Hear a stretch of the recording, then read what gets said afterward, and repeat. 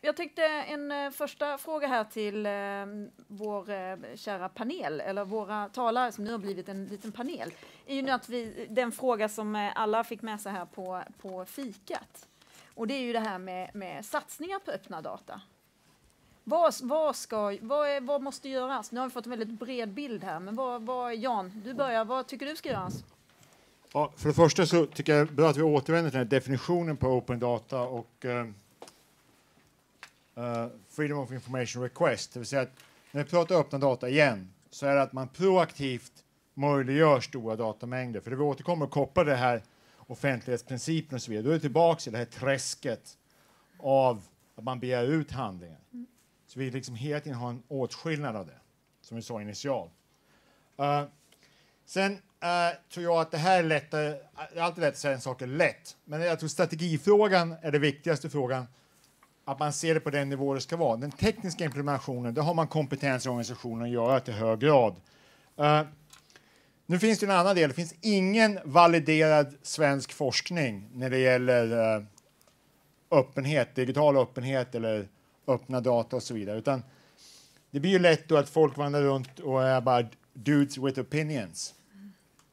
Så att successivt så får vi mer kunskap.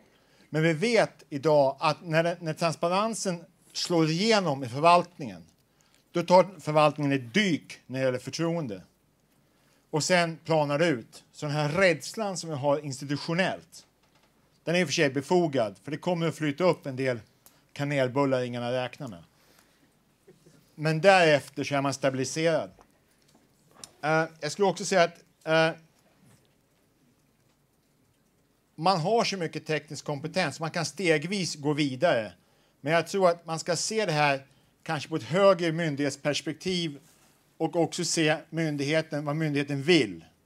När man har det klart, då, då tror jag att man internt klarar av det här utan att skapa ett, ett konsultgarage där konsulterna står på rad, för det tror jag man inte behöver. Sen vill bara i all enkelhet nämna att jag visste att det skulle bli kort om tid. Va? Jag var med förr. Så Erik och jag vi skriver på Brännpunkt som blir publicerad klockan ett idag vad vi verkligen tycker som slutplädering. Så det finns på Svenska Dagbladets webbsajt.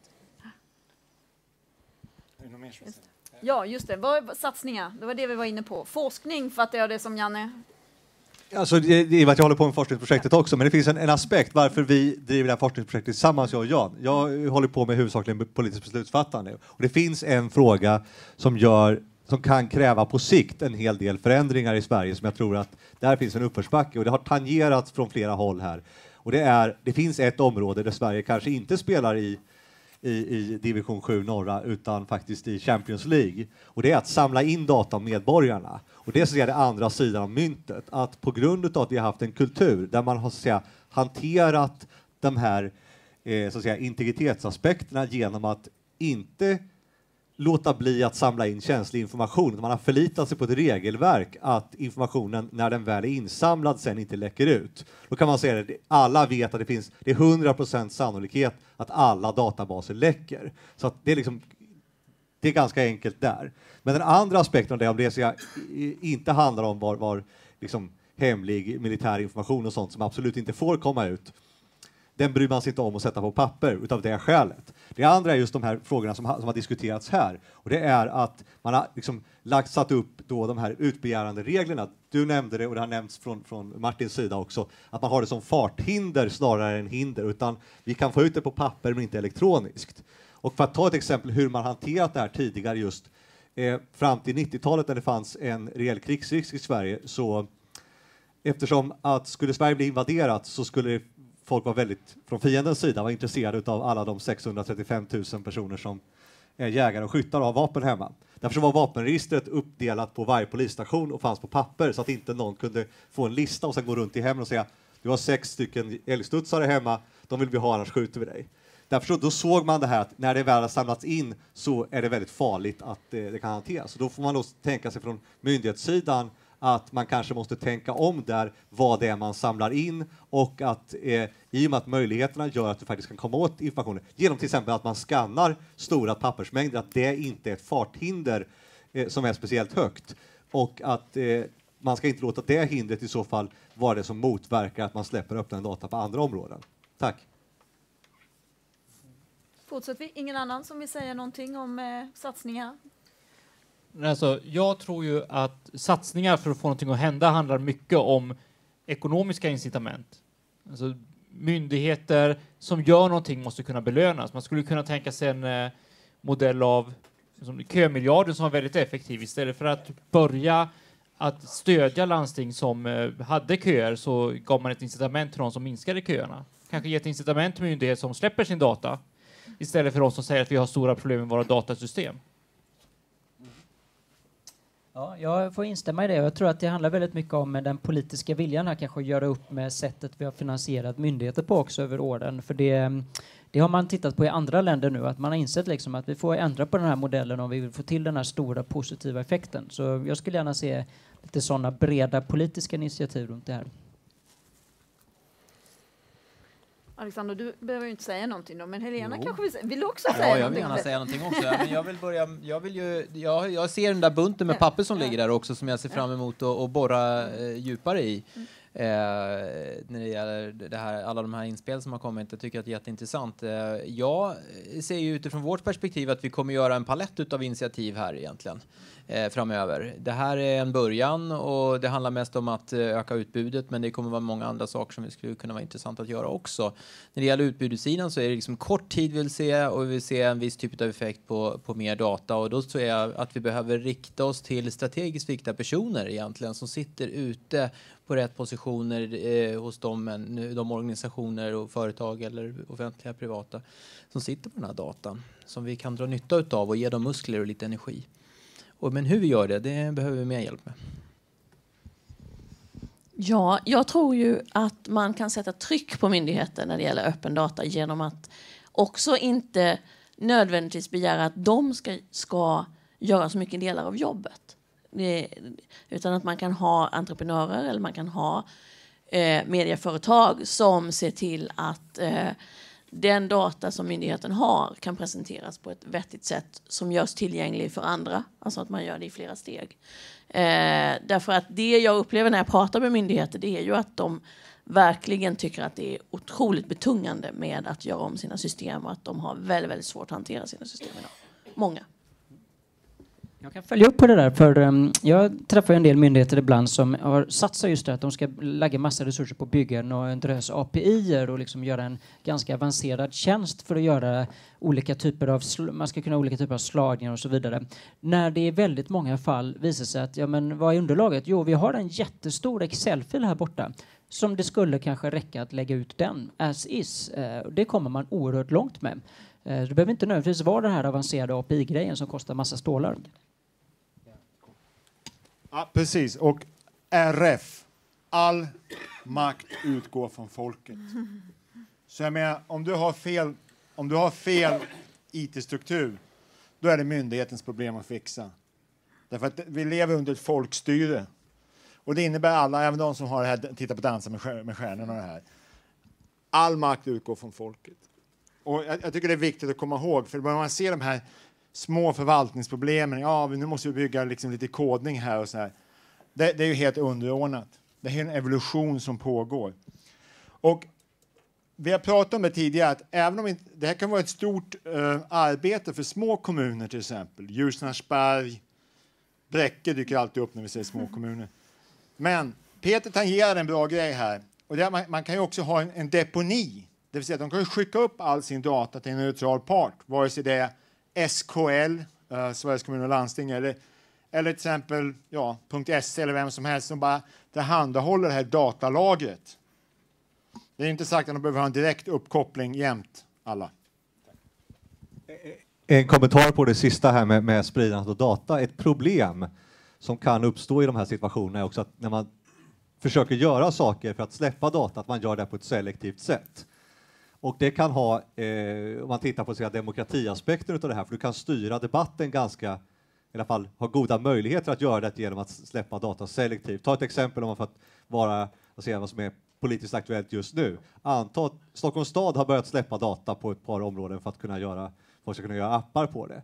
Det skulle också vara möjligt till exempel, säg att Stockholms stad skulle släppa att säga, incidentrapporteringen från de entreprenörer man har i äldreomsorgen, men inte släppa de som är eh, under kommunalt eh, utförande, så skulle det få en helt annan bild om man släppte alltihop.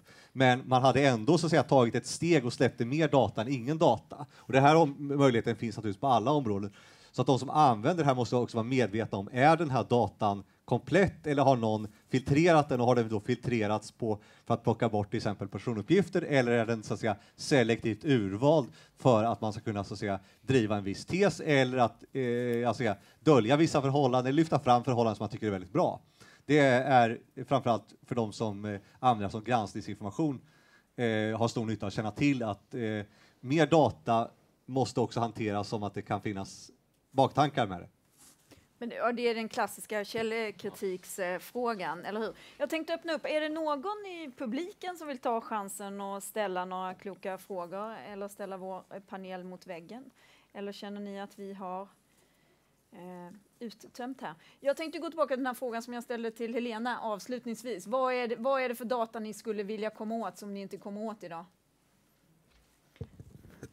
Då är du Peter. Ja, eh, jag tror att eh, jag vill ha, och många med mig, det är sån generisk data som man använder i, eh, som del av andra datasatsningar. Det är typiskt geodata. Eh, och den är ju den, en av de datasätt som kanske är mest inlåsta också, kostnadsmässigt i alla fall.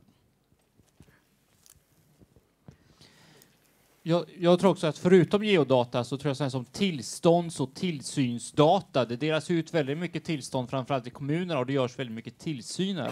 Och det här är ju sånt som är bra att ha både för att som medborgare kunna kontrollera kvaliteten men att också ifall man vill eh, bygga andra tjänster för att jämföra olika kaféer, restauranger eller vad det är man vill jämföra. Får bara säga tio sekunder sedan.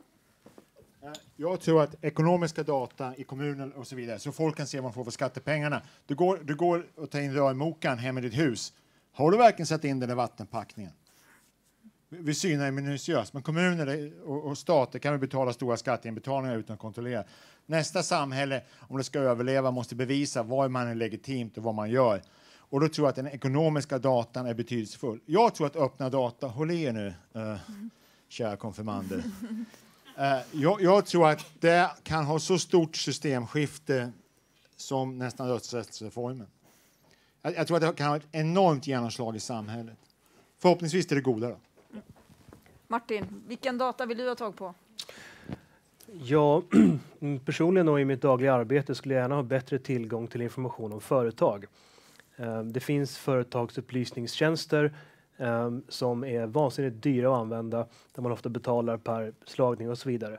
Men det här är data som finns väl tillgänglig på Bolagsverket och andra myndigheter som man enkelt skulle kunna öppna upp på ett bättre sätt. Så det får bli mitt lilla bidrag.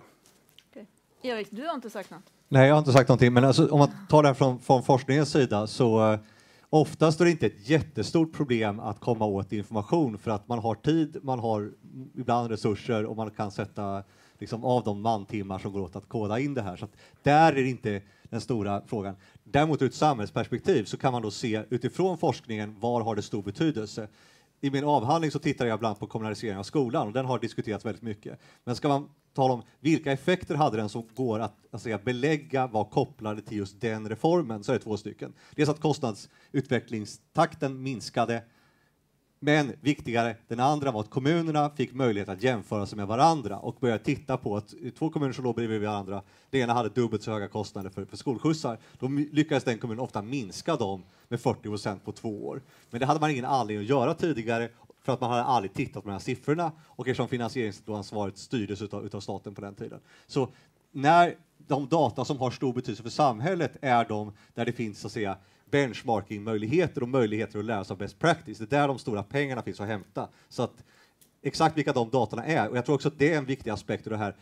När jag tog upp exemplet tidigare med, med snöröjningen, det är ingenting som pratas om den typen av effekter när man pratar om, om öppna data, men utan de kan finnas där man inte först förväntar sig att de ska finnas. Men där det finns möjligheter att samordna till exempel inköp, att benchmarka eh, när det gäller resultat. Det, kan, det finns på Siris skolresultat till exempel, men också kostnadssidan.